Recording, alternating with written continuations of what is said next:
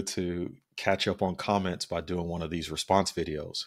Now, you may be wondering why I do response videos at all. Why not just go through each individual comment and and just type things up? Well, when it comes to typing comments, I'm a little slower than I would be just verbally. I think often my verbal dexterity is better than my ability to write out comments and be concise because I, that's what I try to do is be as concise as possible with the comments. Whereas I can take two or three minutes and answer a comment very quickly in a way that would take me five or six minutes to answer it if I was trying to be concise and try to clean up the the wording and everything. And so that's it's easier for me. So I want to talk about three ways that you can actually get in contact me, with me if you have some type of question. Uh, the first way is through the comments. So many of you are already doing that. Uh, the second way is actually you can email me. And so let me, if you go to my channel, you can find um, under, I think it's Jerry Lee PhD and two other. Yeah, so you can go there. It shows my website, my Substack, and then you can go to my email address, and here it is right here, jsweaffordjr at gmail.com. You should have access to that if you have not been able to see that before. This is my email. This is my personal email. You can email me there if you if you have questions. I know some of you probably have questions and maybe you don't want to go in the comments with it and put it out in the open. Maybe you're uh, an atheist or agnostic and you're kind of shifting and you don't necessarily want to put yourself out there and you have questions about about uh, the existence of God or about the inspiration of the Bible that you would rather talk about privately, then that's one good way to get in, in touch with me. The third way is do, going live on YouTube, and this is uh, I have not done this before, but there's the, the ability to go live and take comments in real time and answer your comments. So if you're you're saying, hey, this guy's a Christian robotics engineer and he is really interested in apologetics. So I'd like to know what he thinks about this, this, or this. If that's something that you would be interested in, I just showed you my email address. If you would like to email me and put in the title of the email, interested in YouTube live apologetics discussion or something like that. If we have enough people, if we have five or 10 people, let's say, it would be easy for me next week, for instance, to figure out a time that works and to go live. So if you are interested in that, but you're, you're in England or something, I believe England is six hours ahead of where I am in Huntsville, Alabama, in the Central Standard Time region of the United States. Then if you're six hours ahead, then if I go live at seven o'clock at night, for you that's one in the morning, and you're not going to be able to watch it. So if if in that email you say, "Hey, I'd, I'd be interested in a discussion like that," uh, please let me know. Okay, what what are the times if you can if you don't mind converting it to my time time region, so Central Standard Time, and what times are good for you, and maybe there's certain days that are good for you. And if I get enough emails to do that, then I'll we'll we'll do a live next week, and you'd be able to ask questions in real time and see me respond to different people's questions. Also, if you are interested in such a discussion and you have a specific question that you'd like me to address in that live, then please put that in there as well. And so if if it ends up there there's like three people that do it, there would be no reason for us to go live. We could just do a Zoom call. And so then we would just all be able to talk in a Zoom call with just four of us. But if there's really more that when it when it gets past four or five people in a Zoom, it just makes a lot more sense on my end to just say, okay, we'll do a live and all of these people can I can respond to these different questions. People can get in the chat and actually ask me more questions. So if that's something you think you'd be interested in, uh, please uh, go uh, email me about that in the next few days, and we'll see about doing an apologetics discussion next week. And again, this is not just believers. If you're an atheist and you're kind of saying, "Hey, I want to know what you think about this or that," fine. I also want to say before I go into these uh, comments again that sometimes people are coming with a lot of hostility and anger, and I get it because these are important topics what I'm trying to do as much as possible when I'm doing these live is show you that there is no hostility toward you. That often I'm laughing off things, and there are some people that say, "Well, well why are you laughing?" And it's like, well, sometimes there are things that in my estimation, seem ridiculous that are being said. It's not that the people are ridiculous, but that the things being said are sometimes ridiculous to me and, and they catch me off guard. My genuine reaction is to my general reaction is is to chuckle at things like that. There was somebody talking about moonwalk, uh, Jesus moonwalking on water. I thought that was funny, but then the person came back in another comment and said something like, "Well, it's good that you are laughing about something that's a mythology." And I'm going, "Okay, see now you now you want me to, I got we can get serious about this, but." Um, and so I proceed to say, "No, we're we're serious. Jesus actually did walk on water. He did not moonwalk on water. He walked." And so and so that's and so that's what I would say to that. Uh, that I want to be able to demonstrate that there's no hostility on my side. I, I you think I'm mistaken, most likely, and I think you are. You're mistaken, and what we're trying to do is get to the truth. All right. So right now, this is saying that I'm at 13 comments that have not been responded to. Um, I'm doing a bunch of housekeeping stuff right now, but I also want to say there's some of you that are might maybe say, "Hey, I commented on on your video back on Tuesday or on Monday, and you didn't comment back yet." I've been busy, and so I am not a full time content creator. There was somebody that seemed to think I was. I am not a full time content creator. Again, I'm a robotics engineer. I'm an entrepreneur. I'm uh, doing other things during the day, and so there, yeah, I don't. This is uh, this doesn't mean that this doesn't matter. It just means that specifically responding to comments, which takes energy and effort, I want to make sure I'm at a place where I can do that. I have some time this morning, so we're going to do that now. All right. And let's just be real. Like a lot of the comments are quite um, negative. And so I'm not particularly um, looking forward to responding to a bunch of negative comments. So if you are someone who is more positive in your comments. I I had last week there was this really pleasant back and forth that I had with somebody and I thought was really helpful and I was looking forward to coming to the comments uh, uh, to talk to this person, but that has not been um, the case in a lot of cases. So what we'll do is we will start taking a look at people's comments and so let's see hide this now I'm only seeing one, two, three, four, five. There's okay, there's one person, Ethelred, that has a bunch of these comments. And and so the uh and so this is you earn your living with long videos. So again, I don't know what so I've got to go back and answer some of these. So so so again, so here's a person who's so so I want to give you a sense of what's happening here. This person that I have not seen any comment, I've not looked at any comments in to in whenever the last time I did the the last response video, which was probably Tuesday night, I think, something like that. I haven't looked at any comments since then. So you're having somebody say, "Hey, tell me where this evidence is if you want me to watch this video um, timestamp please. And then science literally began with living in a land that did allow non-believers so you started badly while quoting me. I, I don't know what that's talking about. Timestamps as you wasted beginning and irrelevancy.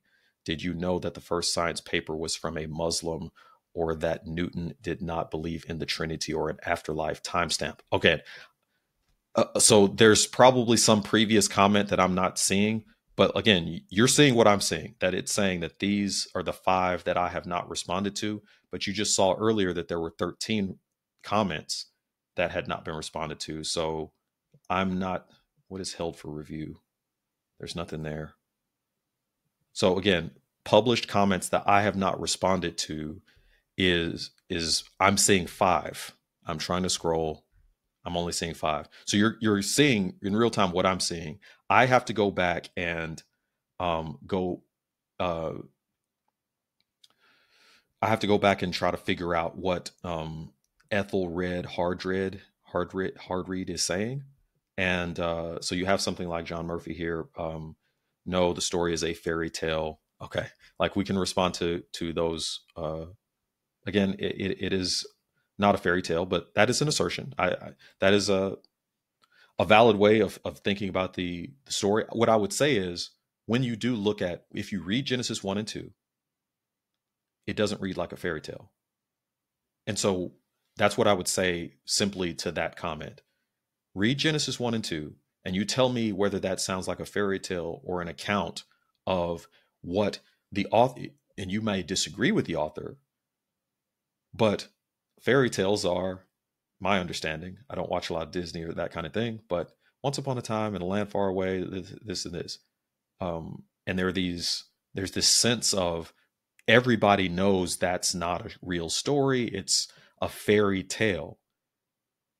When you read Genesis 1, in the beginning, God created the heavens and the earth, and the earth was without form and void, and darkness was over the face of the deep. And the Spirit of God moved over the face of the waters, and God said, Let there be light. There was no, there's no sense there of fairies or there, it's not written as if a tale. It is written as an account, a narrative account, which is why in that video I talked about the fact that that account is referring to literal days. There's no sense there uh, that those days are not literal.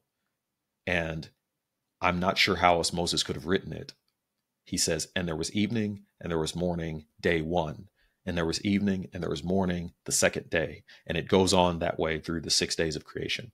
And so I don't know how else he would have said it. And as we saw in that video, we went back to Exodus chapter 20. So fairy tale, there's it's an account, and you may disagree with it.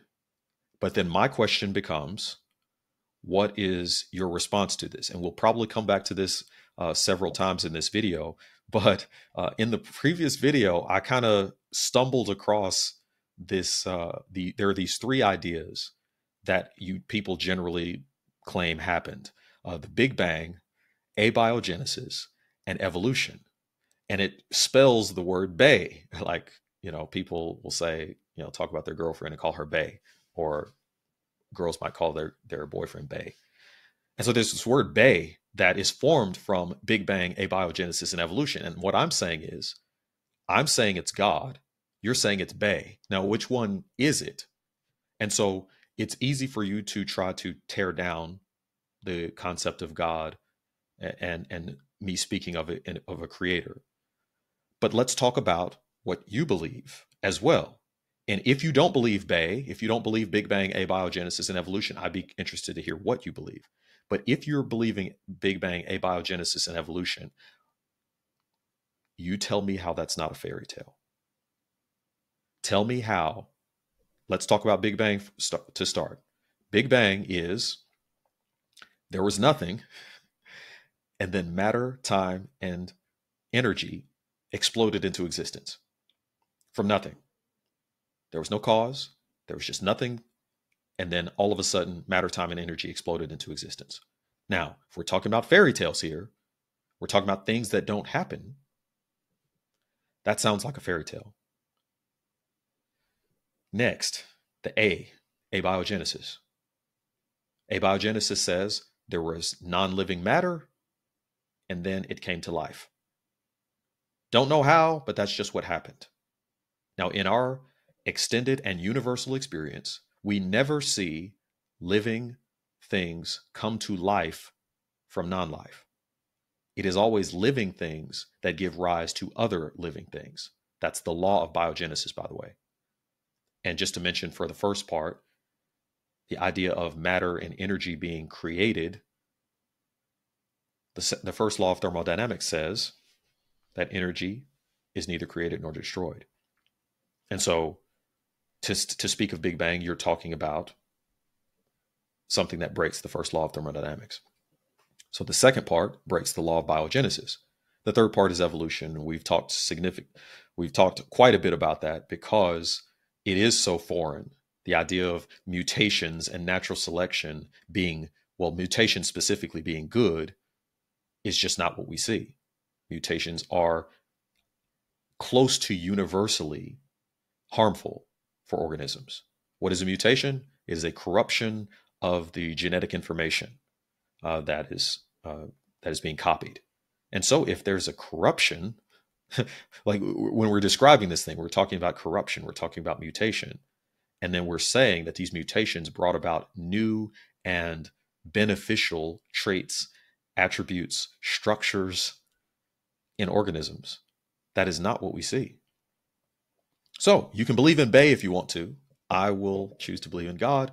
And if you believe in Bay, then please explain this idea of you believing in ideas that break the break laws of thermodynamics because by the way evolution is opposed to the second law of thermodynamics things do not gradually get better over time as we observe and so there is something called genetic entropy which is not thermodynamic but the idea of entropy comes from the second law of thermodynamics and there's an idea of genetic entropy that is being violated when you say that an accumulation of mutations actually makes an organism improve over time. That's not what we see. We see an accumulation of mutations makes organisms not improve over time. And so, if someone were to tell you that your child had a mutation on this certain gene, you don't get happy about it. They're telling you that because there's some kind of ab- abnormality or problem that is the result of that mutation. But these people are trying to tell you that a bunch of mutations together gave rise to improvements in these different organisms. But that's not what we observe. So all three of these ideas rail against what we actually observe. On the other hand, we are saying that God is the one who created matter, time, and energy. So, not nothing, we're saying God did it.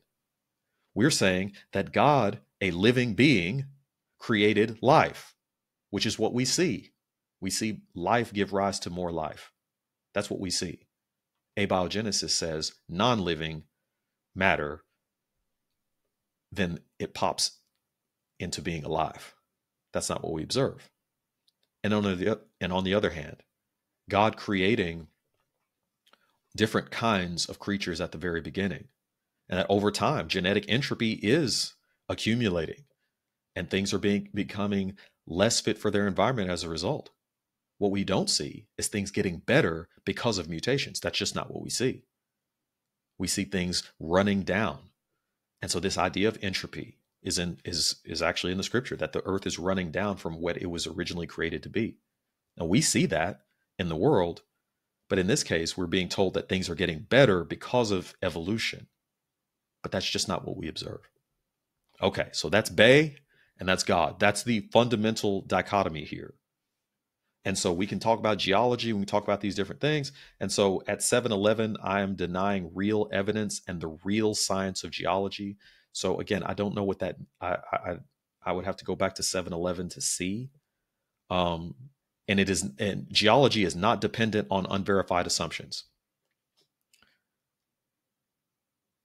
Think about that statement for a second unverified assumptions. If it's verified, it's not an assumption. There are things that you're going to assume that are impossible to verify or not. There, there can be things that are, I guess, verified assumptions. But again, the idea that geology is based on verified assumptions, again, it, by on its face, you can't verify something when you don't know, when you were not present. How can you verify these geological assumptions when you were not present? what's the verification? There is none. So you can just so you can say it's not based on unverified assumptions, but it's just not true. And so the Great Flood was disproved by Christians in the early 1800s. That is a fact. Where's this proof? And these these are the kinds of assertions that are being made here and so again, still no timestamp. I'm coming. I don't know that I'm going to put a bunch of timestamps in here because I don't know what you're asking for, but I will. We're going to go now to the the video, and we're going to see. Oh, these are all from that that one video. So what was? These four comments were from that one video. So then, what is this? Oh, this was the response video. So I want to go to this video first.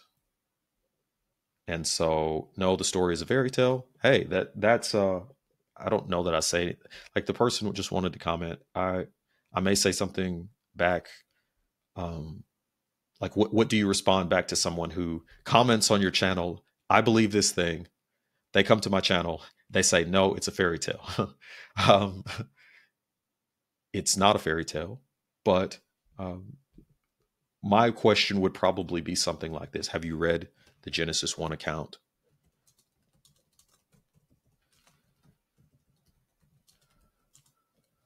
Does it read like a? Uh, it doesn't read like a fairy tale to me.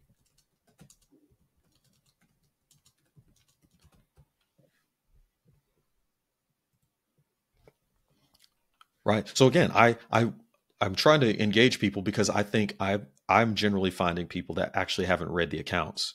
So you just listen to what I'm saying and then you haven't read it. And so then there's this person saying, "You have this long video so you can make money or something." I I'm not monetized on YouTube. So there is no so let's go to the let's go to this video. This is where I think the majority um, comments are probably right. So we're going to sort by, I don't want to sort by newest first. I would just, um, yeah, so, so much cringe. um, let's just go down through here first and then see if there are other comments as well. So Christian Ice says here, uh, and we're going to try to go quicker than maybe I usually do. I already took way too. I'm already 20 minutes in. We're going to try to be less than an hour. And again, I get it, right? If you don't want to watch the entire thing, I, I get it. But I am. There are some people that are interested in this kind of thing, and how do we answer? How does a Christian answer these people um, who are disagreeing? And how, in the sense of what kinds of answers do you give, but also what is the temperament? And so, just understand that there is no there's no hatred, there's no hostility here. I just um, we're trying to help you see the truth. Um, so Christian I says um, it's not it's a story invented. So this is similar to the fairy tale idea. Um, who in his right mind would think that men had any idea at that time? So th- again, there's this idea that if I think that people understood some things back then, that I must not be in my right mind. And I don't think Christian Ice is trying to be insulting. I, I don't know that everybody. I don't think people are trying to be. Maybe they are. Maybe they just maybe I'm just being naive and and people really are trying to insult me and I'm just kind of saying, well, maybe they just don't realize it. But um in this case, um I just said, "Hey, thanks for the comment. Um I understand that many people are skeptical of the Bible. Have you read it?" Um yes, from cover to cover. That's when I lost my faith. Uh, many people are and so this person right here, Boots Can Chelsis. So I'm so um, yes, from cover to cover, that's when I lost my faith. Okay. What was it uh, that you would point to that that made you lose faith? Because he's essentially saying that by reading the scriptures, he lost faith. So I'm curious, what was it that you would point to that you would say made you lose faith? This is an inter- this is an interesting discussion. So um, hopefully we'll be able to um, con- kind of continue from there. Um, but this person, many people are skeptical of the Bible because it is a collection of baseless assertions and uneducated nonsense. So you've read it.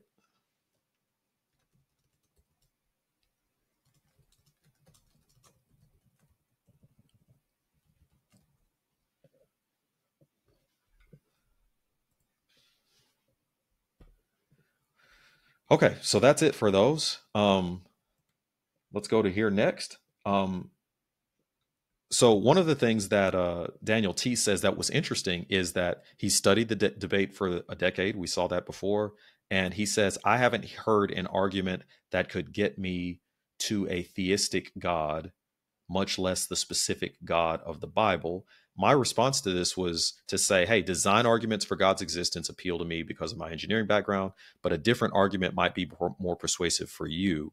I understand why a deistic or pantheistic God would be more palatable to you as an atheist, but it isn't clear to me why the existence of such a God would be more probable for you than a theistic one. Is it that a theistic God is less likely to exist, or is it that such a God would be less appealing? So, what I'm getting at here is that there is a difference between taste, I, I just don't like the God of the Old Testament, for instance. This is something that people often say. I don't like the God of the Old Testament. Now, my my question to you is it would be this.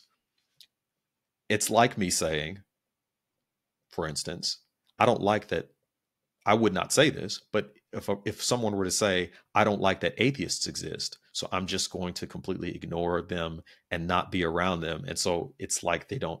it's like they're not really around. Just because you don't like something doesn't mean that it doesn't exist. So you might say, "I don't like or agree with the actions of the God of the Old Testament,"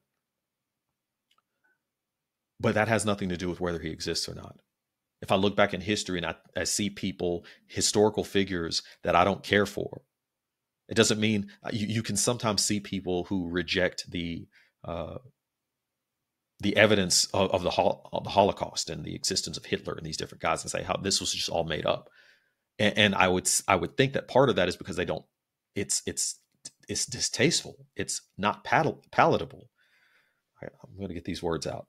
it's not palatable. It's not it's not tasteful I don't believe that because of that.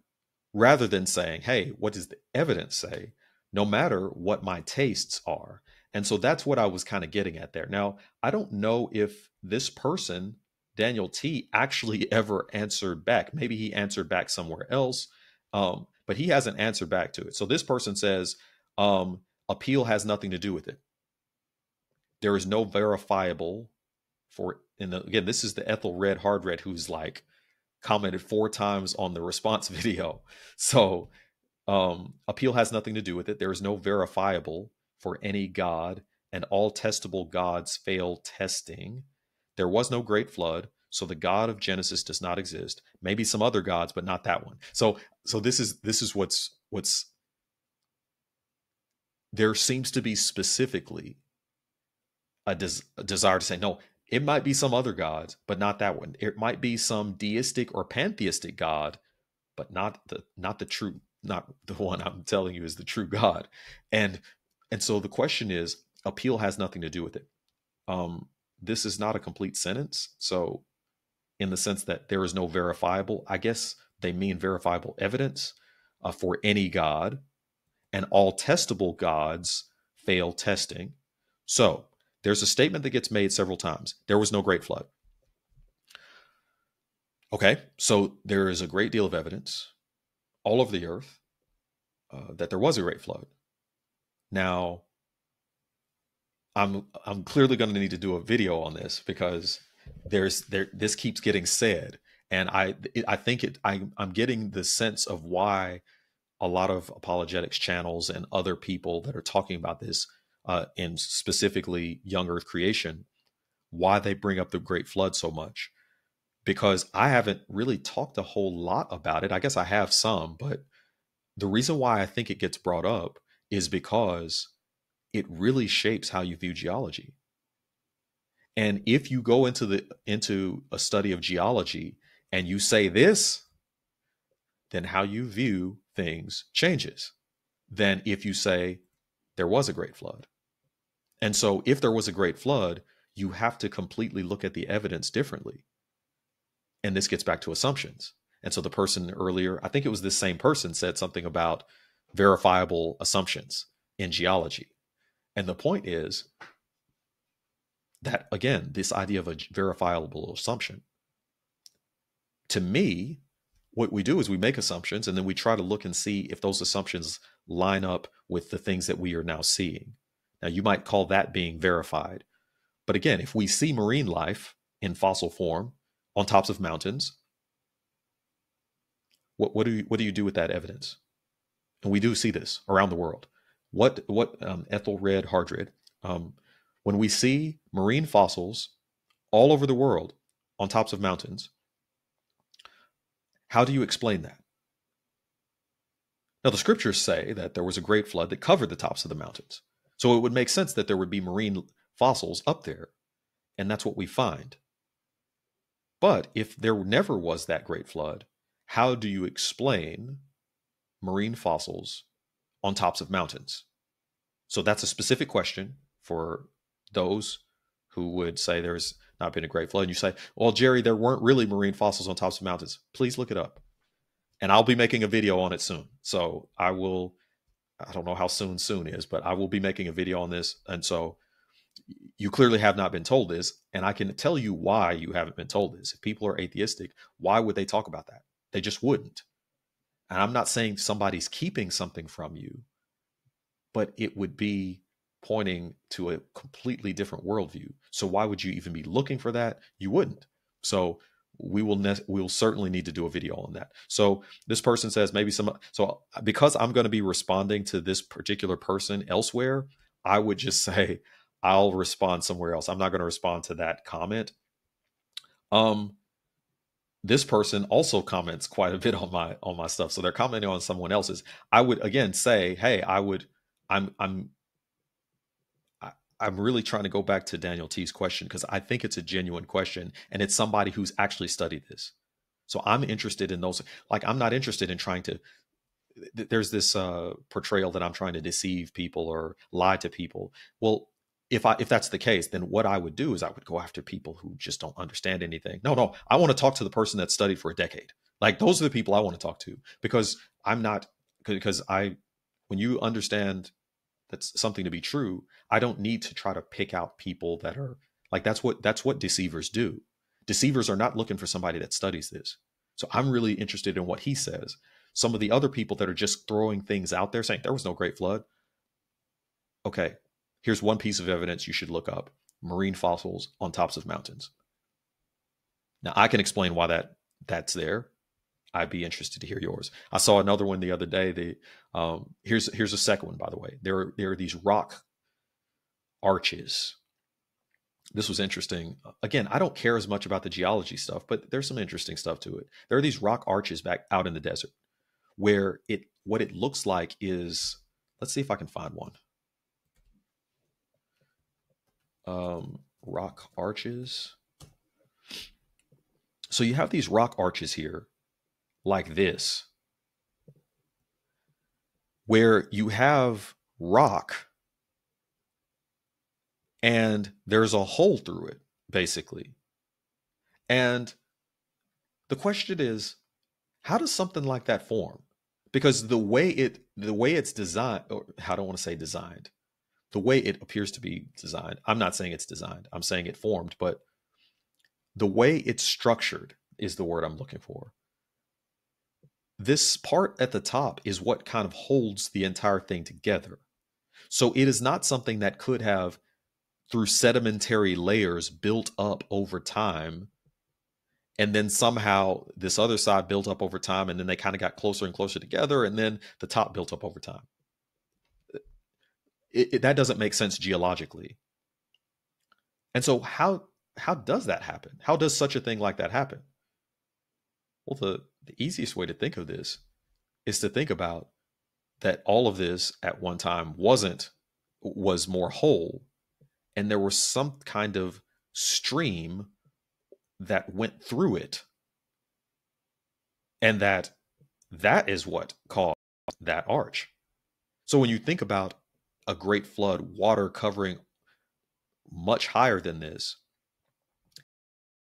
a stream of water could have pressed its way through there, caused that, and then it hardens into the rock arches that we are seeing out in the desert. Well, that's actually a plausible explanation for rock arches that I saw someone talking about, uh, saw some believers talking about that said, hey, that's evidence that there was a flood out there. Because if you think about the, the desert, how, how do you explain that rock arch? So th- those are two. I don't want to give like 15. I, would like um, Ethelred Hardred to to specifically talk to marine fossils on tops of mountains and rock arches right? And maybe there is some plausible explanation of how that built but some type of sedimentary layer by layer over time building of a rock arch because we don't see they're all old so we don't see any that build over time. So so the question is okay these things formed thousands of years ago, but how? And so the sedimentary idea doesn't work there. So those would be two. Answer those, and and we will continue from there. And and we'll probably give some others uh, in a different video. Um, So again, this person is uh, um, is just is quoting me and saying, "Hey, I said, and I said that up here, that design, or I said it here, design arguments for God's existence appeal to me because of my engineering background, but a different argument might be more persuasive for you. Yeah, an evident and demonstrably true argument would be much, much more persuasive than an antiquated Bronze Age tribal assertion without any foundation in fact. Um, I think maybe this person commented elsewhere, but I'm I'm fine with just simply pointing out. How do you explain the apparent design in the human body? It's very simple. How do you explain the apparent design in the human body? Because it is apparent. So we want to talk about evident, demonstrably true. It is evident and demonstrably true that the human body has been designed. It is a system of systems. And you can go as small as you want to, as microscopic level as you want to. You want to go on the level of cells, molecules. You'll see information there. So we see a system of systems over and over again. My training is in engineering design. I have a PhD in mechanical engineering. What I observe is a system of systems. And a system of systems requires design because if you don't, if it just somehow pop, if you just somehow have some system of systems that hasn't been put together well, it won't work. The human body works very well. And I know that there are these teleological arguments that say it's badly designed.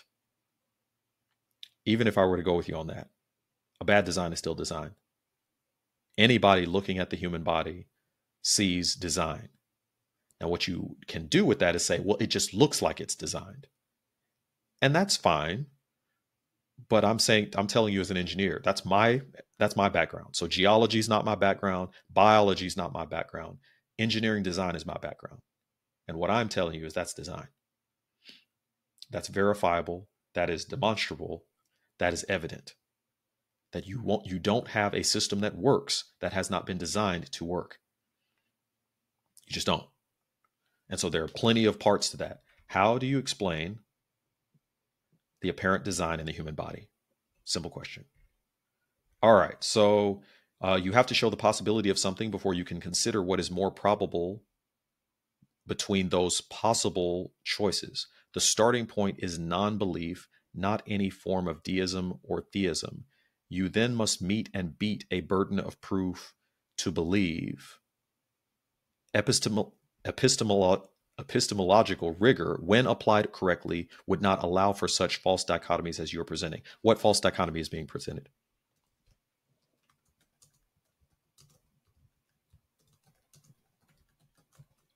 I don't know.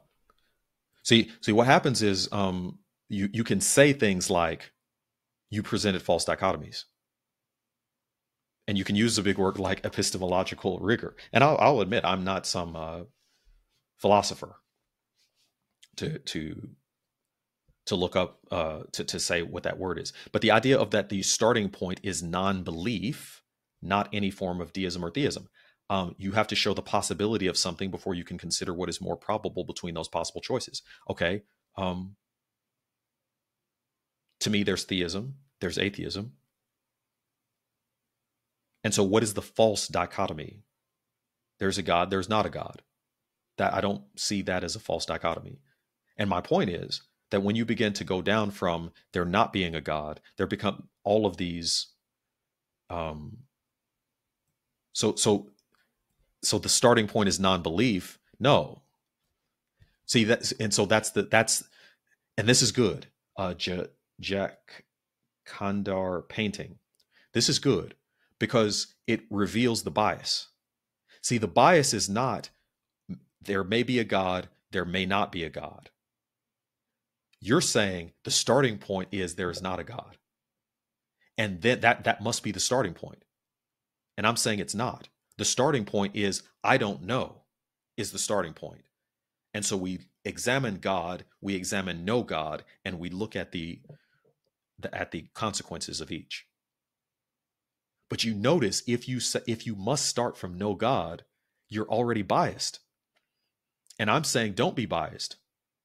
And so you can talk about epistemological rigor, you can talk about that. It's not a false dichotomy to say God or no God. That's the dichotomy. That's the dilemma. So zoom out and say, okay, God or no God. And as we've just mentioned, God, I see a super intelligence who's created the world. We see design in the world. The existence of God is certainly possible, right? It's certainly possible to look at design in the world and say that there is a super intelligence that could have done this. So, so we, so let's start there. Now, if I go to know God, I'm still willing to tell you that that's possible. But let's look at what happens. We come up with ideas like Big Bang, abiogenesis, evolution, which are, if, if not anti scientific or non scientific, are pseudoscientific. And so what I'm saying is that is this this is really good because to say that the starting point is non-belief shows the the bias. The starting point should be more like what I what we would call the agnostic. The starting point is to zoom out and say, I don't know. God, no God is the dichotomy. Now let's compare. That's not what you're doing. You're saying that the starting point is non belief. And if the starting point is non belief, then you fundamentally are biased. The starting point should be I don't know. So let's look at both. But what happens is if you begin from non belief, instead of beginning in the center or from a neutral position, and this kind of gets back to what the presuppositional guys would say. Well, see, there you go. But this is what I'm getting at. That's bias. So you're showing your bias, but then trying to say something like, oh, well, then you must meet and beat a burden of proof to believe. And what I'm saying is, you've got God on one side, you've got no God on one side. So the no God, that need you need to be able to show, hey, that there is there are viable there's a viable series of consequences if there was no God. Like that scientifically, that would make some sense. But when you have these incoherent scientific ideas that are re- the result of atheism, well, how do you explain that? Is what is the burden of proof there? But you're saying I don't need to have any proof to be at non-belief. You see, that's not that's that's biased. So it's not a false dichotomy and I know that it's it, that's what you've been told. But even not being a philosopher, you can you can see what I'm saying here. You've you've created what I've what I mentioned earlier before even seeing this comment that people are already on one side biased against the other and then saying, "Well, you need to show me something," but you're not in the middle. You're not actually neutral. You're on the other side and then saying you're being neutral. You're not being that's not neutral. That's not neutrality you're actually on the other side. And so we, could come up with all kinds of, of, of, of parallels to this, right? But we don't need to. We, that shows the, the bias there. And so that will, um, I didn't present some false dichotomy and I'll probably maybe link to this part of the video because this is, this is so relevant Okay, do you really think uh, Moses wrote Genesis? So this is Daniel T, which is actually the same person up here that gave this really cool comment where he's saying, "Hey, I've studied this. Um, you can generally get a skeptic to a deistic God, but I haven't really heard anything to get me to a to a theistic God." And I appreciated the comment. I think I liked it myself. Um, so again, I can like a comment that I disagree with, that, that I disagree with the conclusion. Like people are like uh, again. There's there's no hostility here. If you if you have a thoughtful comment, I don't mind liking it. I might not say love because I don't agree, but like I'll like the comment. I appreciate it. And so, um, so down here, do you really think Moses wrote Genesis? So there are like eleven um, replies to that. So let me get to that in a second. But down here, um, so much cringe. Uh, now maybe you'll say what what the cringe was. I replied here, all the lies y'all tell to accept a Bronze Age, Iron Age myth from the Levant is crazy. I think of a lie as a statement that the speaker knows to be untrue. Can you give an example of a lie being told here? What do you think I'm saying that I don't believe? That the earth was created in six days. There was three days and three and nights without a sun or a moon, and a man came from a woman's rib. Uh yeah, I don't know what that means. And here comes this person. You can tell a lie and still believe it. So so then you're defining lie differently. So so my thing is I'm saying I believe those things. So I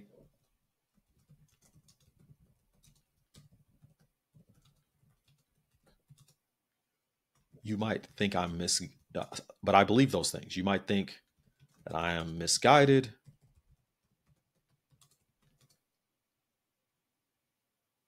But that isn't the same as lying.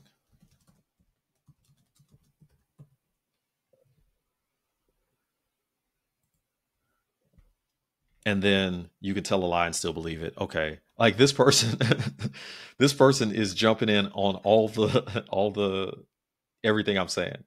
Uh, so this person says, "Congrats on shortening your video. Now take the next step and just say God did it. Boom, you are done." I thanks for the comment. I talk about how God did it makes a, a lot more sense than BAE did it. Big Bang, abiogenesis, evolution here. I talk about how God did it makes a lot more sense. Okay, so this this is the same person. hey Boots, you should come. Like you should email me so you can get on the uh on the live, so we could like we could talk straight up. Um, because you're really in these comments, I tell you. And so actually that shows that you're being willfully ignorant about the most basic scientific concepts. So you believe that matter, energy, and time popped into existence from nothing. The Big Bang.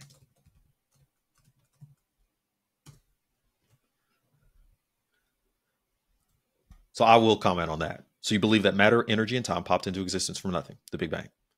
So so th- think about what you're saying. These are basic scientific concepts. You believe matter, energy, and time popped into existence from nothing. Okay, so do you really think Moses wrote Genesis? So there's like 11 replies here. I don't even remember why. I don't even remember there being. So I have to go back and see. I said yes. The Pentateuch or Torah, composed of the books of Genesis through Deuteronomy, has been attributed to Moses. Where am I on time? Okay. Like I want to keep these right at around an hour at the most. So if I need to come back and respond to another video, maybe tomorrow, we'll we'll because I, I haven't even gotten around to the um video where I responded to this video. I haven't even gotten to those comments yet. I just really wanted to get to the but it says that there are hold on. It says there are 47 comments.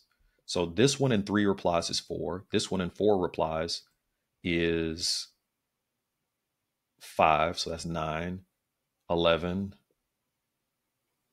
That would be 23, 26, 31, 35, 37. It still looks like I'm missing something. If it says that I'm seeing 37 comments, not 47.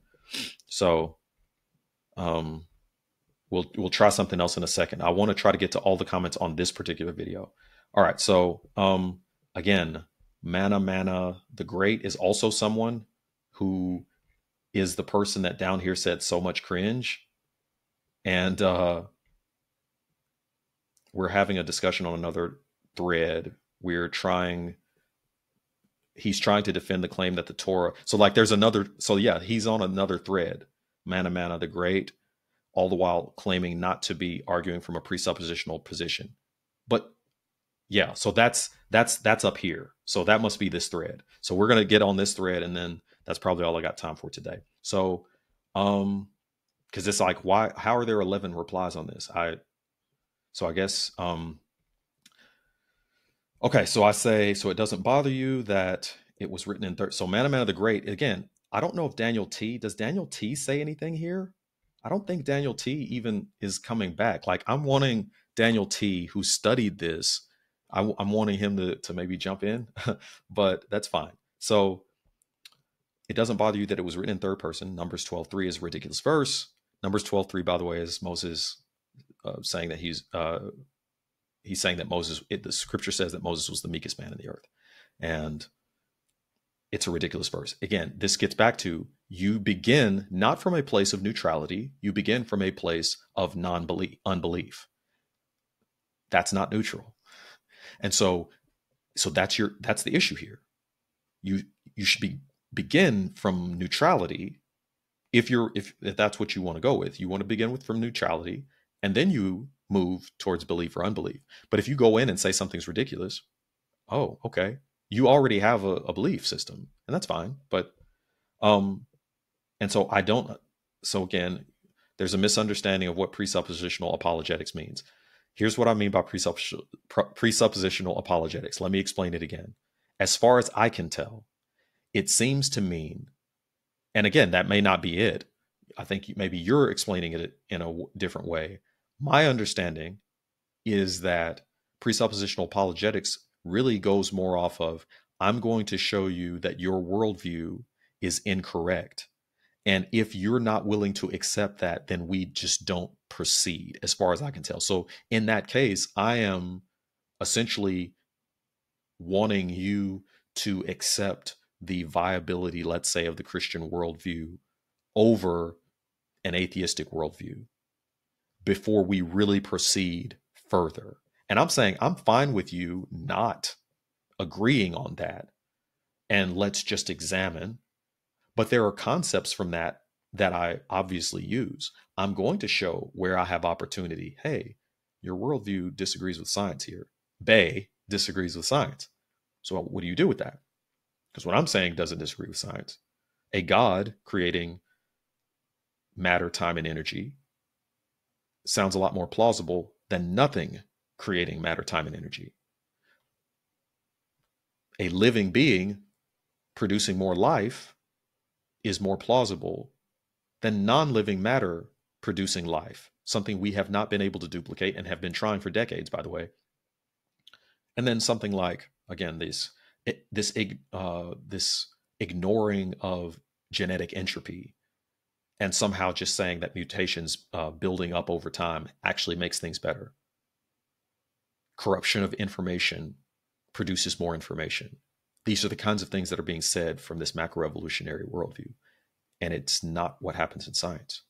So what do you do with that? So that that's that's the question. And so he's like, you're a presuppositional apologist. And so um, you mentioned several things here. It's tempting to apply our 21st century sensibilities to writings from thousands of years ago, but I believe that would be a mistake. Of course, we wouldn't write in third person but our excessive modern use of the first person would likely seem ridiculous to ancient people. So, so think about that for a second. This is one of the things that he's hung up on is, I think it's a he. If it's not, please let me know if you're not a he. But um,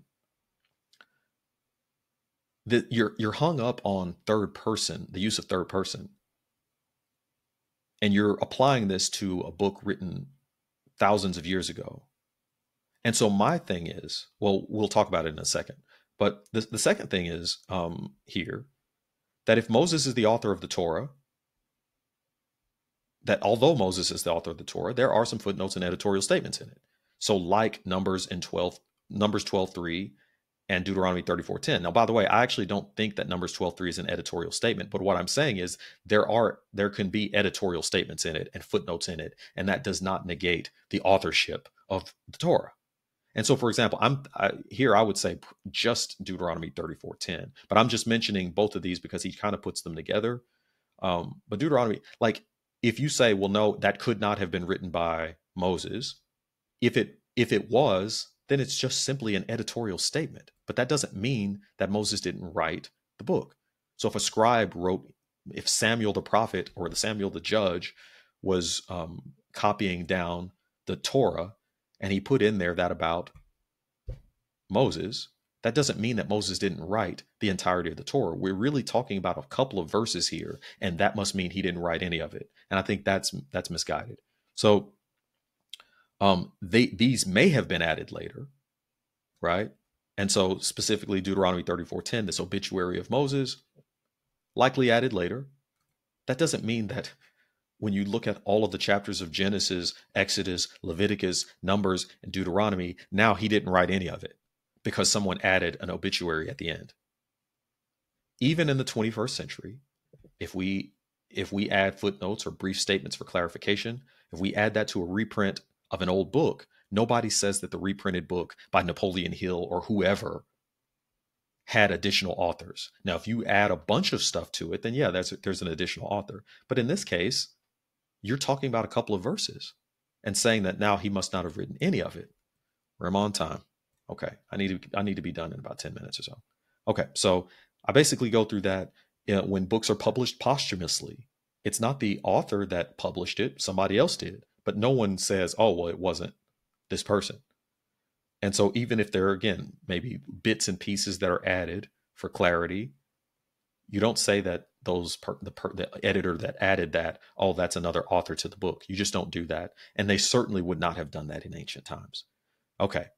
Let's say for that it were true that he made this statement that there's no evidence he even existed outside of being a character in the stories. Now again let's say that that's true. I don't know of any historians that go well there actually wasn't anybody named moses and what you would have now and you would have the burden of proof here because if we're saying hey these books didn't just write themselves. Somebody wrote it. And i'm saying it's moses. And what you're saying is no it wasn't moses. Well who was it? The biblical counts get accepted as evidence that this person named moses existed. And so and then i go into talking about presuppositional apologetics. As far as i can tell what this has to do with is if I'm talking to somebody who doesn't believe and I'm saying that you need to presuppose something in order to believe, to me, that seems counterproductive. And so I'm not assuming that you need to believe something. But in this case, somebody asked me why I believe. So I'm a believer. So I get to, I'm going to include all of the evidence. You don't want to include that. So you didn't, the, the, the question was never convince me that Moses wrote the Torah. If that's what the question now is, then we can talk a little bit more about that. But my thing to this person is frankly, if you don't believe in the inspiration of the Bible, I don't, I'm, it's not clear to me why you're even talking about this. You already don't believe the Bible is inspired. So, and you probably don't believe in God. So for me, I'm not it's not clear to me why talk about Moses writing the Torah if you don't believe in God. Because I'm not presuppositional and I'm more of a from a classical approach of we begin with the foundation of the existence of God. We then proceed to inspiration of the Bible and then we get to the deity of Christ as proven by his resurrection from the dead. It's really those three major ideas that we proceed to. And so I think from a presuppositional uh, perspective, you it doesn't get broken down into those parts. It's kind of like everything at once. And that's just not how I, I view it. And so again, that is not a presuppositional approach to say um to say that. And so so I, that was the big next response. And so next I go, this person says, I expected you to make excuses, so that's not unsurprising. I think they mean that's unsur- that's unsurpri- unsurprising. Um, footnotes and editorials that are indistinguishable from the main body. You're simply making an assertion. Again, everybody makes assertions. I am asserting that. And you're asserting things. So we're all making assertions. Okay. The author writes of things after his death. That's not simply publishing after the author dies and it is not a simple editorial note. It is a simple it it's a single verse and it's describing moses and the idea that um and yeah so it is a a, a brief obituary you might call it. I mean if you're if you're um, listening to this and you're curious about what we're talking about with deuteronomy 34 it's the final chapter of the torah And it says here in Deuteronomy 34:10, but since then there has not written a, arisen a prophet in Israel like Moses, whom the Lord knew face to face, and all the signs and wonders which the Lord sent him to do in the land of Egypt before Pharaoh, before all his servants in the land, and by that by all that mighty power and all the terror which Moses performed in the sight of all Israel. And again, if you even go up higher, it kind of talks about um, these other things where it's is speak it is speaking in in the in the third person, and people say, well, now that couldn't have been Moses writing that, but honestly, Moses easily could have at 120 wrote the end of this, and then and I again I don't I don't tend to think that he wrote probably this in verse 10. But the point is, okay, so maybe there are three or four verses. Maybe you say, I don't think he wrote any of this chapter. Okay. There are 50 chapters in Genesis, 40 chapters in Exodus, 27 chapters in Leviticus. Then you get to the book of Numbers, there's 36 chapters. And then in the book of Deuteronomy, there's 34 chapters. So what you're saying is that maybe maybe part of or maybe an entire chapter at the very end of the book, like someone would write an author bio- biography or something, frankly, you're talking about something at the very end of the book must mean that he didn't write all those dozens of chapters. You can say that. But again, you have you you have the burden of proof there by the way. So who wrote it? And so so since you're saying someone else did, I'm saying it was Moses. I'm saying that's what the tradition says. That's what Jesus talked about this being the, the law of Moses or the book of Moses. So you, or do you have some Jewish scholars that are like, well, no, there wasn't, there really, because I think you were even saying that there wasn't a person named Moses. Okay, so now we now we get into okay, where did this book come from? So I I, I just don't like this idea of claiming this show as you go or parroting someone else who doesn't realize that the historical evidence and timelines undermine the authorship claim. That's a that's a big that's a big assertion there. Right? First of all, saying that I don't saying that this is something that I'm making up based on what? Deuteronomy 34:10. It is a simple editorial note. It's talking about it's it's it's a, a biography of Moses. It's basically saying, hey, this is who Moses was. He was a great prophet in Israel. The idea that that's not a simple note that an ed- editor could make, or or a simple note that a prophet or a scribe later on could write. This is who Moses was. At the end. Again, we do that. We do this kind of thing in books all the time.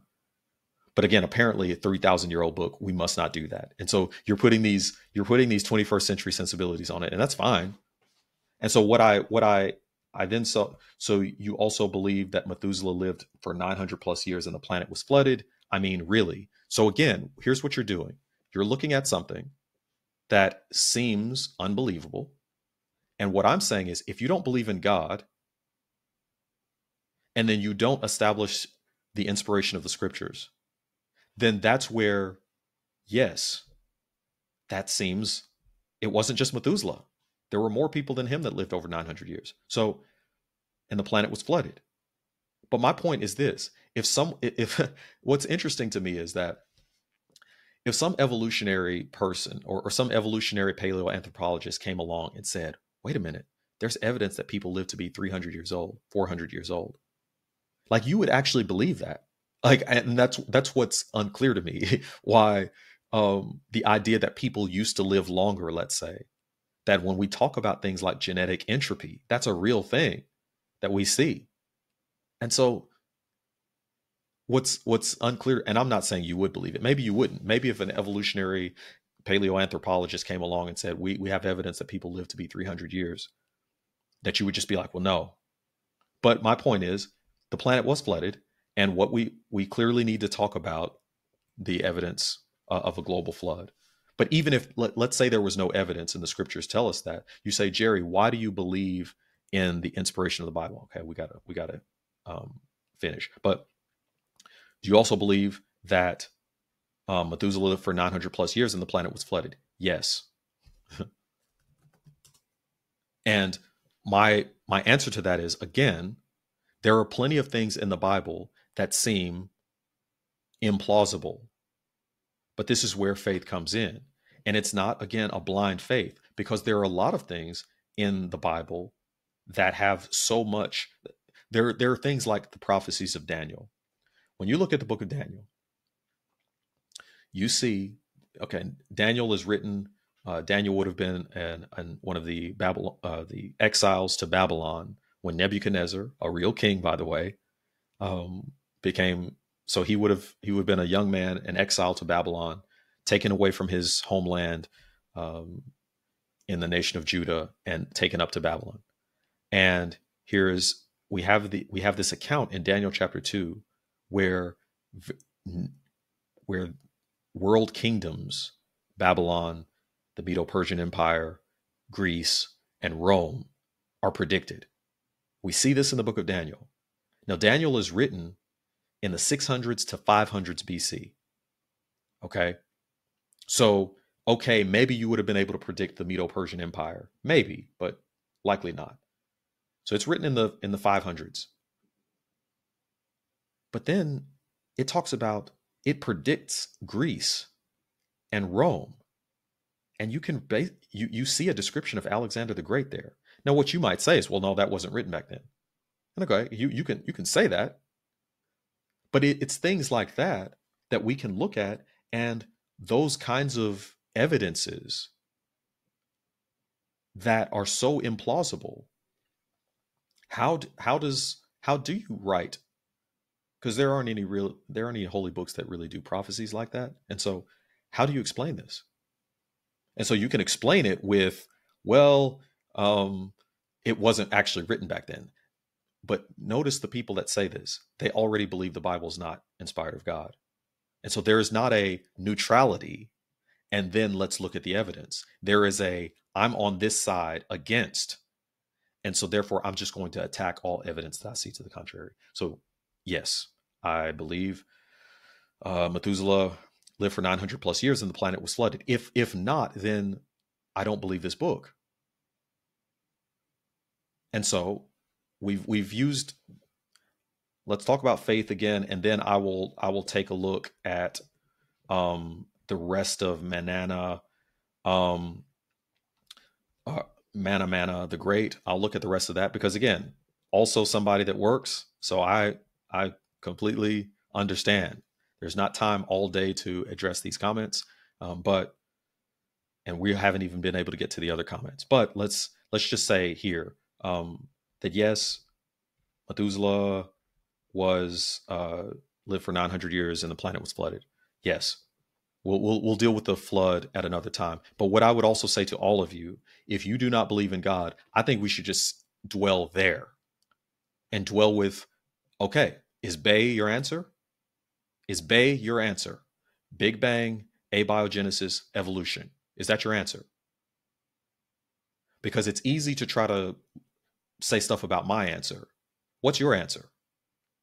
And don't and and I don't want to hear stuff about, well, that's just basic science. It is. Matter, energy, and and time popping into existence. That's science. Non-living matter popping life into existence. That's science. Where do you observe that? So so that's that that's that's my question to you. If is it BAE? Is that, is that what you're going with? Because I'm going with God. That's that uh, lines up more with my scientific training and background. Okay, so uh, here I just basically point out those three main things that he said that look, Moses' obituary was likely added after his death. Something like Numbers 12:3. Have you encountered any scholars of ancient texts that struggle with Moses' use of the third person as much as you do? That that's a good that, that's that's a decent question where because you're coming up with this idea that well um, he uses third person, so it must not be him. But that's a that's a 21st century approach. And I'm just I haven't encountered that. Maybe there are scholars that say that, and uh, I'll be interested to see. So, and then the historical evidence and timelines undermine the authorship claim. What historical evidence are you talking about? And how would that undermine undermine the claim of Moses as the author of the Torah specifically? So I think they're answering next. I'm currently at work, so I'll address each point as time permits, starting with the last. When you presuppose the author, Moses wrote it by your own admission, because an anonymous author wrote that someone told him that Jesus said so without or before examining all the available evidence that is relevant to the issue of the claim that Moses wrote it, and then attacking all other possibilities by inferring edits and dismissing contextual problems, then admitting your ignorance of the historicity problems, you're indeed performing a what historicity problems? And so this so this is the thing. Nobody knows everything about everything. Nobody knows everything about a topic. And so what happens here is you're attacking me and what I'm saying is an anonymous author wrote that someone told him that Jesus said so. So I, again, this is I mean, I, I I mentioned a couple of different passages, I believe, Mark and Luke. So Mark and Luke uh, wrote those books, and so that is that's that. So he, here's the difficulty here. I'm I'm not presupp. I was being asked. So again, this gets back to this gets back to misunderstanding or presuppositional apologetics. You asked me why I believe this. And because I because I believe this, and I put way more stock in the Bible than I do in all of these other things. And you you have your assumptions that you're going to make. For you, you basically say, well, who and without or before examining all the available evidence that is ish, relevant to the issue of the claim that Moses wrote it. So I want you to think about what you sound like right now because we we likened this to the husband who is married to a wife and someone says, "You really think your wife is faithful?" And he says, "Yes, I've seen this and I've seen this." And the person comes back with, "Well, you haven't looked at all of the relevant evidence that is relevant to the issue that your wife is unfaithful." And the husband's like,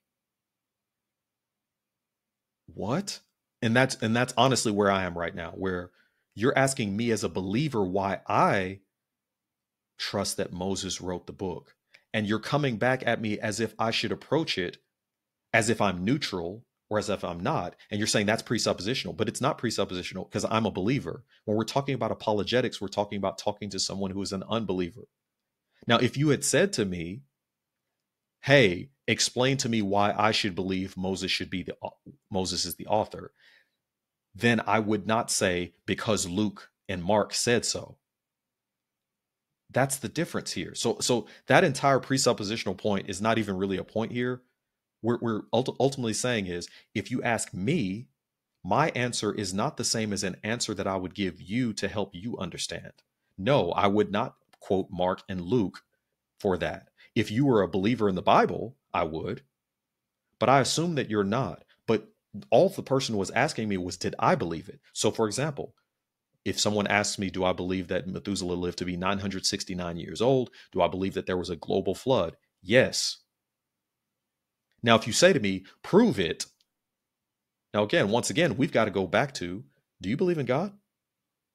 Because I don't know why you're having these discussions if you don't even believe in God. I don't know if you do. So let's say you do. Okay, now we can talk about zoom out. What why is it that Jerry trusts the Bible like this? Now we can talk about that and then get into specific issues of of let's say difficult texts, although these aren't difficult texts. But you're asking me about the difficult text and we haven't established what you believe. So I'm not trying to convince you, I'm saying what my reasoning is. And so for me, who trust the inspiration of the scripture, if I have a scripture elsewhere that claims that Moses wrote this, I can use that. But if I'm trying to convince you that's what apologetics is. Apologetics is not about somebody who already believes. Apologetics is about someone who does not believe. And so I'm not presupposing anything when I'm talking to you. But if someone in a comment who doesn't say anything about background just simply asks me, Do I believe that Moses wrote it? And I say yes, and here's why because I believe the scripture. I don't know if you're, I have believers on here I have atheists on here. I have agnostics on here. I have all kinds of people. So if you ask me why I specifically believe, that's not a that's not an apologetics thing. That's a this is why I believe. Just like if you ask the husband, does he believe his wife is faithful? His answer to why he believes that is not based on, well, I got a private investigator and I've been following her around and stalking her, and that's how I know she's faithful. And if you required him to do that, that would be weird And so, no, is he looking for her unfaithfulness? No, he's not. And what you're trying to get me to do is say, you believe in the Bible, but what you ought to do is you ought to spend a lot of time looking at all of the evidence that's to the contrary of it. But that's just like telling the husband who believes his wife is faithful to look at to get a private investigator. He already believes she's faithful. Does has he been given some reason not to? And so, for example, you you haven't said very much except third person and Deuteronomy 34:10. And I've given you pretty simple reasons as to why that's not even anything that's to worry about. And then this historical evidence, and I say, what historical evidence are you talking about? And your answer to that is, well, you you're ignorant of the historicity problems. What historicity problems? So it's not not a presuppositional approach. I'm telling you why I believe. I'm not so if if this is now a discussion of why you should believe, oh come on, like we got to get out of here. So if you're telling me why you believe or why I this is why I don't believe. I'm going to again go back to do you believe in God? Do you believe in the inspiration of the scriptures? If you do not, both of those are prior to talking about Moses writing the, the Torah. They're both prior to that. So us we we're just going to go around in circles. So let's go let's go back to wherever we need to go. And if it's back to I don't even believe in God, we don't need to talk about Moses and the Torah. Because for what? It doesn't even it's not even relevant. You don't even believe God existed. So it would be very easy for you to not believe Moses existed. So that's what I would say. I'll say, hey, let's let's go back to there. So um yeah, this is not a presuppositional approach because I'm not doing apologetics here. I'm telling you why I believe. And then you asked me if any textual scholars have problems with it. I didn't ask if any textual scholars have problems with it. What I asked is, have you encountered any that struggle with his use with the third person as much as you do?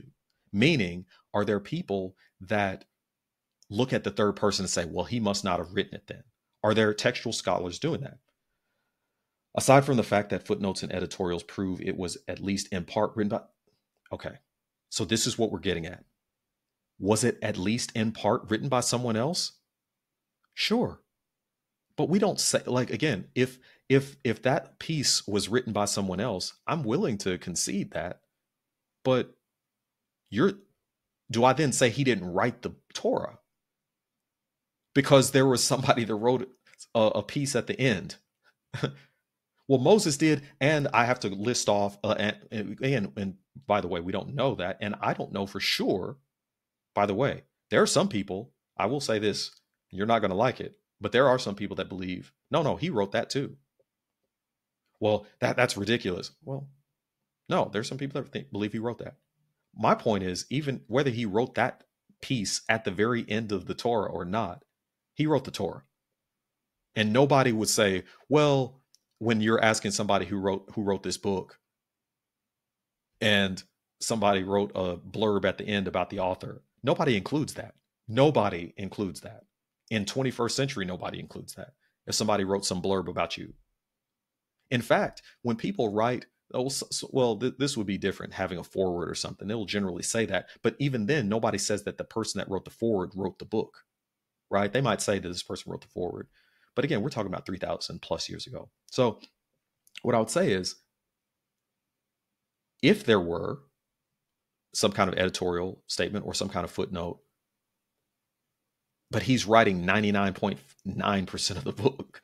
I mean, what, what are you you're asking me to to now say that he didn't write it and that's the part that just doesn't make sense so it being third person doesn't help my argument i'm not saying it doesn't help my it being third person is what you're saying. And I'm saying, are there any textual scholars that have problems with that? How many ancient autobiographical works? It's not an autobiographical work. So then, so again, I'm I'm curious if you've read it now. The Torah is not an autobiography. If you had examples, perhaps you might have a basis for an argument. No, no, no, no. I don't need an argument.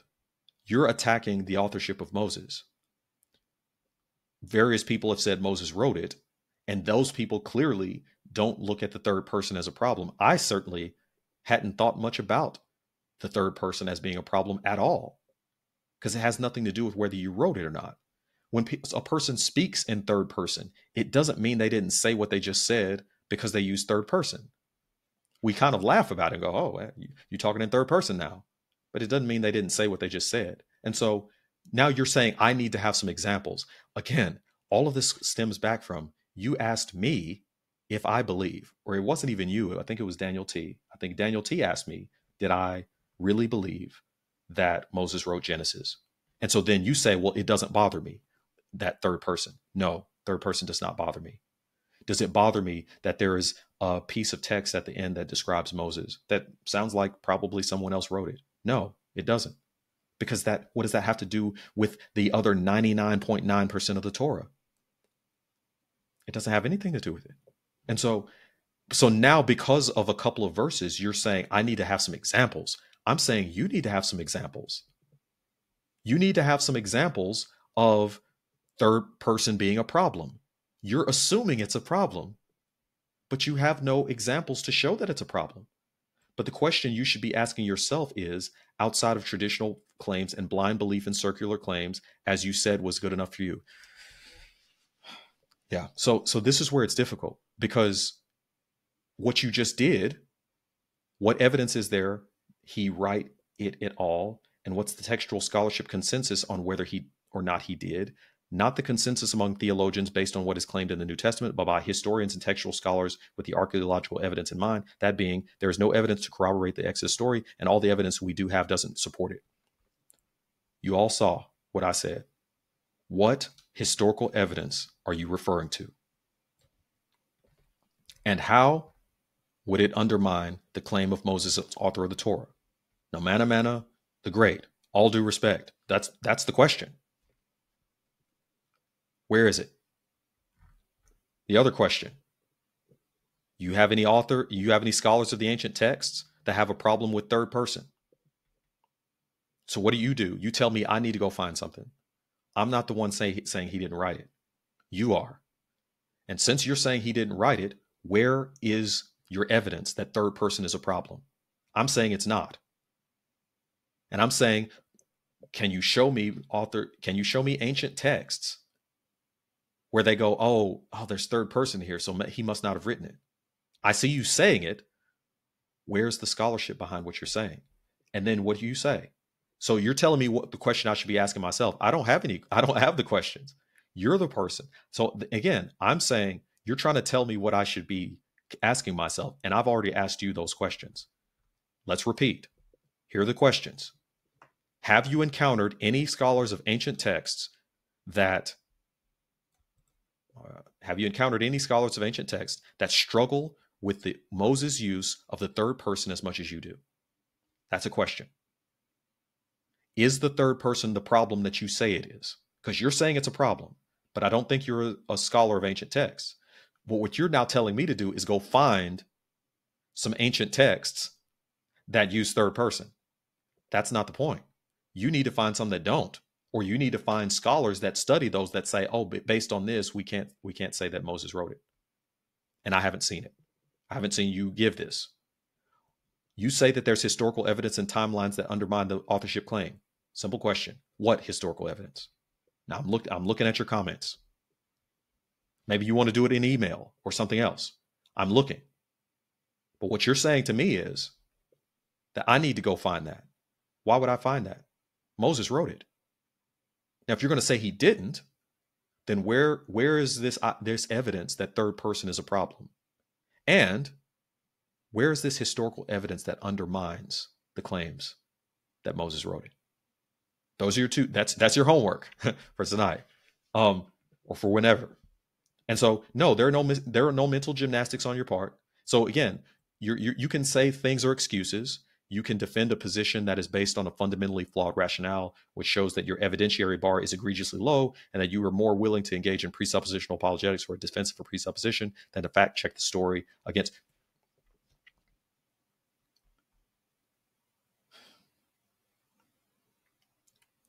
You came out on my channel and said all of these things and presented no evidence. So where is it? I'm telling you my position. But the, the problem here is, and, and here's, and I'm going to end with this right here, blatant dishonesty, uh, misinformation, speculation, assumptions, ignorance, and wishful thinking, zero factual evidence. I expect nothing less from a religious person. Okay, right. But I want you to think about the fact uh, are there more replies here? Has been attributed as not a strong argument. I'm not thinking. Uh, B. Daniel? Okay. So clearly, um, we're going to have to address this particular issue. Well, that's the thing. I can't address this prior to talking about belief in God. And so I wasn't making a strong argument. This is the thing that that people are asking me why I believe something, and now you're saying I need to make the strongest argument possible, but I wasn't trying to make a strong argument. I really wasn't. Like if you're saying, "Give me the strongest argument you have," that wasn't the question. I want you all to go back and see what the original question was and what my responses were. Do you really think Moses wrote Genesis? Yes. People have been attributing this to Moses for thousands of years. And some people recently have questioned that. Jesus calls the Torah the book of Moses. And that's enough for me. It doesn't mean that's the only thing I understand.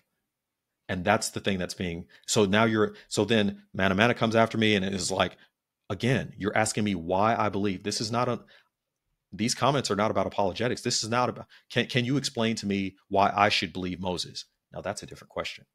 If you had said to me, Can you explain to me why I should believe that Moses wrote the Torah? Now, that's a different question. But you're asking me why I do. And so I yeah, I would just say here has not has been attributed as not a strong argument. I wasn't meaning for a strong argument. I was simply meaning to answer according to this. Again, saying to the husband, Well, we've been married for 50 years, is not a strong argument. He's like, Okay, I'm just telling you why I believe my wife is faithful. And you want me to give you like private investigator files and you want me to have stalked her. And I'm just telling you why I trust my wife. And when I'm talking about why I believe that Moses wrote the Bible, now you're not, you didn't, I was not asked, um, can you give me the strongest arguments you have because I don't believe that. That's not what I was asked. I was asking why I trust that Moses wrote the Torah. And that's what I answered. And now people are jumping in and saying that's not a strong argument. I wasn't meaning to make a strong argument. But should I do a video on that? Comment comment on this one. Should I do a video specifically on Moses writing the Torah. Even if I did, I think I would need a series first. I think we would need to talk about the existence of God first, the inspiration of the Bible next, and then we could talk about Moses writing the Torah. Like there, there's there's a, a progression here. So so yeah, it, it was. If you go back and see the progression of these comments, that's what it was. Um, yes, uh, be insulting to me, Carl White. Um, thanks for the comment, but I, I just I don't know what's in people's hearts that they come on a channel like this and want to be insulting. I, I don't know what that is, but okay. So again, there are no mental gymnastics. This was really actually straightforward. And what I said is, okay, what's your evidence for the stuff you're saying? Because he's the one that said that there's historical evidence and then presented zero. So maybe there's some coming. And if there's some coming, then I can address that. But again, the man's going to want to know okay, you're saying my wife is unfaithful. Can you, do you have some picture of her with somebody else? Well, all the evidence says she's unfaithful. Um, what evidence? You, you should be looking for the evidence that she's unfaithful. Uh, what? no, my wife is faithful. And um, I mean, we had dinner together last night. Well, that doesn't mean anything. It's like, okay, and this is what you're doing here. All due respect. I believe in the inspiration of the scriptures. I know that Moses wrote the Torah. And if you ask me why I think that, I'm going to base my answer on that. If you're wanting to know why you should believe that, I'm not going to use the same approach. But you ask me why I think it. So if you ask me why I think it, I'm going to tell you the true answer. Okay. So, so again, I don't like things like telling me I'm not going to be intellectually honest. I don't like it. I'll let you say it. I don't like it, of course. Because if we're going to talk about intellectual honesty, where is your evidence?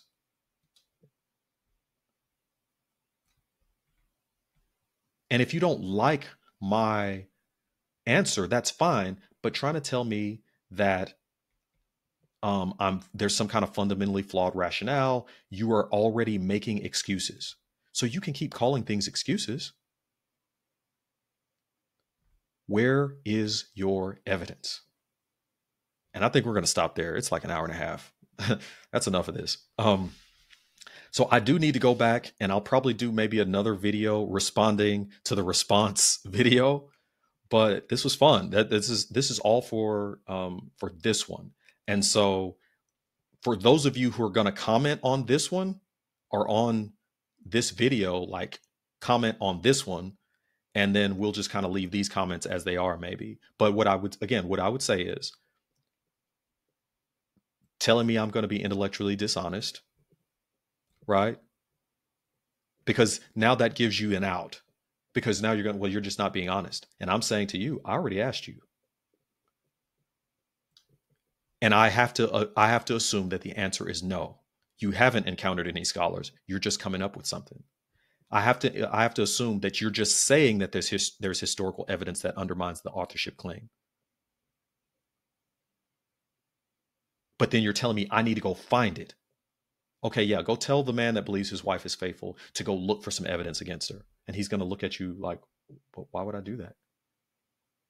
And, and go tell that man that if you really wanted to think that she was faithful, what you really should have done is gotten a private investigator to prove that she was faithful.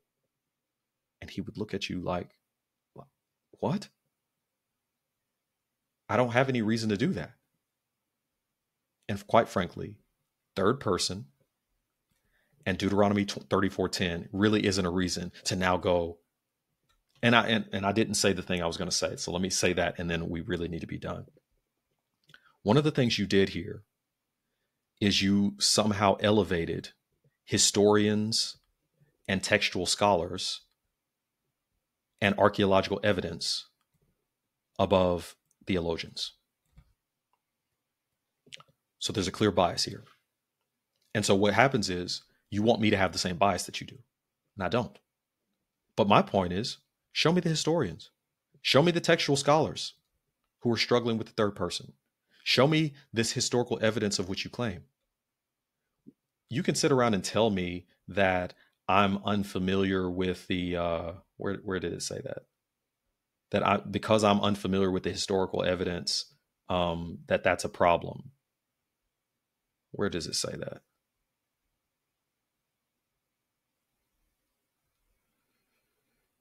Um. So yeah, I, yeah.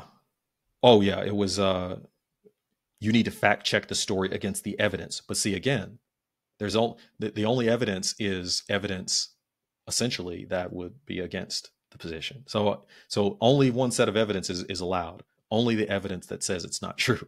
And so we we're not going to look at any other evidence. So th- that's where we'll that's where we'll stop for today. Man of man of the great. This is a good discussion here. And so what I would again say is now we are talking about why you don't believe that Moses wrote the Torah. And since we are, because you've inserted yourself into this, then here's what you need to do show us those scholars that struggle with third person and show us this historical evidence that you said. What are you talking about? But don't tell me to go find it, right? So, so this thing is uh, don't tell me to go find. Yeah, the, here it is. It, your ignorance of the historicity problems. No, don't go. Don't you say there are historicity problems? I say there's not. Now go find whatever historicity problems you're referring to, and then I can answer that. But don't tell me there are some, and then I need to go find them. You go find them. But I haven't. I, there's no evidence here. You didn't. There was nothing said here. Just just attacking me. I'm not intellectually honest. You can attack me, but but ad hominem, in my experience, ad hominem is because there's no evidence. All this, where's your evidence? All these things that are being said here are no, no there's no mental gymnastics necessary, right? There's no like there, and so please, where's the evidence? And if you don't mind, less of the attacks, the personal attacks, right? We're talking about ideas, and but I can't tell you to stop tell, calling me dishonest and lying. But okay, that's all for today. We will probably do a, a response video to the other response video from Tuesday. But until then, we'll see you next time.